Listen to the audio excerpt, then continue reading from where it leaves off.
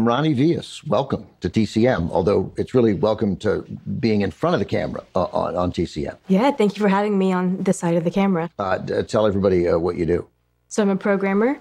So I help pick the movies that go on air. Programmer, you're not like a code programmer. You, you, not you at all. program the movies. Mm-hmm. More like a curator than a programmer. All right. So we're here to talk about the idea of America for the next three Friday nights, speaking with uh, first generation immigrants to uh, get their sense of how the movies uh, helped form their impression uh, of America. Uh, this was your idea, this bit of programming. What, what, what inspired it?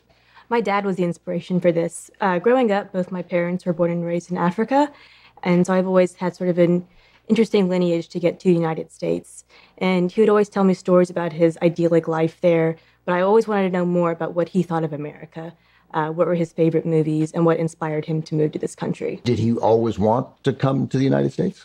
He actually did not. He had such a lovely life in Nairobi. He was in a wealthy family. They had a successful business.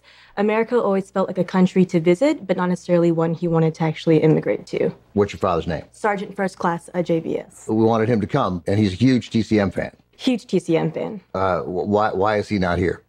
He's always been more on the quiet side. He's rather a listener than a talker, so he thought I could do him justice and tell his story instead. He has a soldier's stoicism. Truly. How do you get from Nairobi to the United States? It's a very interesting story. So, born and raised in Nairobi, he lived there until he was 17. At that time he was born, Kenya was under British rule, and so he was considered a British subject.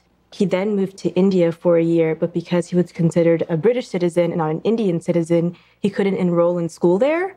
And so, after kind of putzing around for a bit um, and returning back to Kenya, there was a lot of political unrest, and at the time it wasn't quite safe to stay in Kenya. So his father got the idea to finally move to the States and see what they could become there. Um, he moved to Detroit, Michigan, and he enlisted in the U.S. Army without telling his parents. Wow, enlisted in the Army, didn't tell his parents. What, what was he thinking?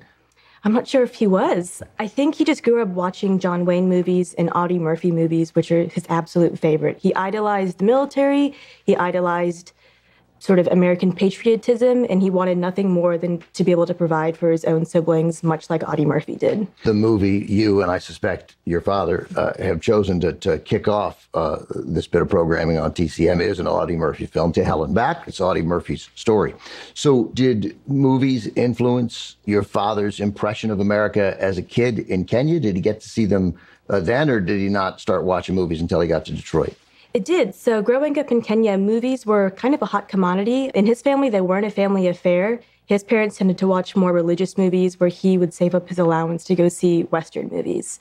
A lot of them at the time were British imports, but every now and then he would get a US red blooded American movie and he was thrilled.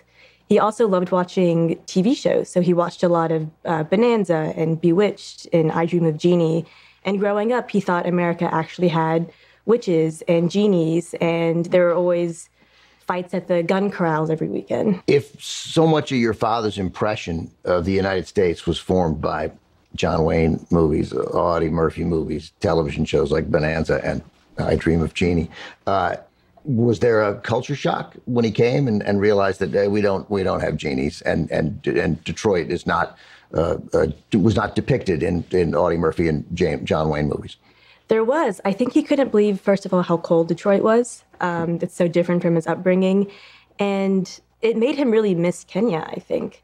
I think he was more excited to join the army so he could travel the world. He fought in Gulf War, he fought in the Iraq War, he spent years in South Korea, years in Afghanistan. So most of my upbringing, he was sort of gone for most of the year, and he would come back for two weeks for uh, his time off.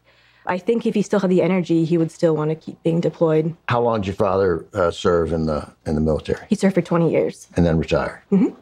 So 20 years in the military, and now how long in the United States? 30 years. So 30 years uh, in in the country, uh, 20 years in the military. Uh, give me a sense of like what your dad loves about Audie Murphy. I think he just wants to be Audie Murphy, and he loves the idea of someone so young accomplishing so much. And granted, it's in a movie, but it looks so effortless.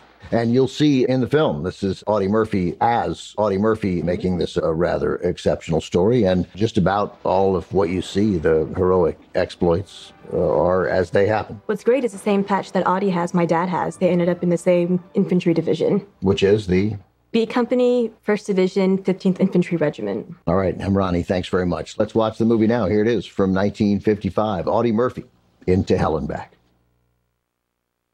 Welcome back. Joined once again by Emrani Vias, who's a programmer here at TCM and came up with this uh, idea that we have for tonight and the two Fridays to follow uh, the idea of America, talking to uh, first and second generation immigrants uh, about how movies form their impression of, of the United States. This was uh, To Hell and Back, we just saw with Audie Murphy. Uh, as Audie Murphy, your father, 20 years in the Army, he picked this movie. He did, one of his absolute favorites. What other movies influenced your father? He also loves Hatari because that was shot on location in Nairobi.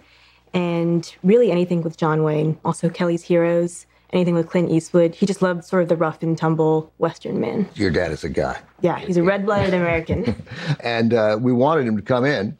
Uh, uh, but he wouldn't do it. Uh, just, I mean, I mean, like, wouldn't do it, like obstinate, but it's not his thing, right? No. Yeah. He's more behind the scenes man. What was his uh, impression of this idea of yours? I mean, obviously this this this came from uh, your love, respect, admiration for your father that you thought this would be a good idea. How did he respond? I think he found it a little odd. I think he thought, why does anyone want to hear my story? I'm right. just another foot soldier. I, right. But the idea of telling immigrant stories and how the movies informed them, what did he think of that? That his daughter was sort of inspired by him and wanted to do this? I think he was a little touched by it, but again, he's such a man of few words. He would never really show it, but he would go, "Huh, that's interesting, I guess." that's what he. That's what he gives you. Yeah. And now, is that a source of uh, frustration for you that there's not a little more uh, emotion coming from your father, or are you reconciled to that? No, I've reconciled to that. Just hearing so much of his upbringing, I sort of know what he's been through, and so I don't hold anything against him in terms of not showing too much emotion. So, as a programmer here at TCM, uh, constantly uh, uh, putting together nights of the movies that we show on, on a regular basis, um, what have you found just about the way that you look at so many of these classic movies as opposed to the way that people who are, you know, third, fourth generation immigrants who, who, who don't have your experience, how do you look at these classic movies differently? I look at them through the size of a nostalgia that I've never experienced, and also seeing these are what my parents watched growing up. And even to them, it's still this sort of distant, kind of hopeful idea for them. I love that idea, the nostalgia that you never experienced. Uh, you know, you you you grew up here in the United States, but with immigrant parents, and I, am so what you're seeing, right? What we think of as nostalgia, because it's, you know, what my uh, parents uh, either loved or what my parents how they lived, what they looked like you don't have that, but you still feel that that pull. I do, and it's something I think they also were yearning for because even when they are watching, it's not at all their lived experience either. Because if you think about it, movies at the time that were showing those parts of the world weren't necessarily in the best light. And so I think they always gravitated towards these more American movies to see what their life could look like in a different way. Is your parents' outlook on the world and on the United States is it uh, dramatically different than many of the people who you come across who don't share that experience? I think so, especially many of the Indian Americans I've come across. My family's not your typical Indian American family in the sense that my dad was an American soldier. And to this day, I've never met another Indian American US soldier. And so their perspective has really shaped who I am and who my siblings are because we've always had this sort of global outlook on things from a very young age, just based on their family history. Emrani, thanks very much. This was a great idea, and thanks to your father, too. Thank you. Stay with us. We have more of the idea of America ahead. Janet Leigh and Robert Mitchum are up next with Holiday Affair.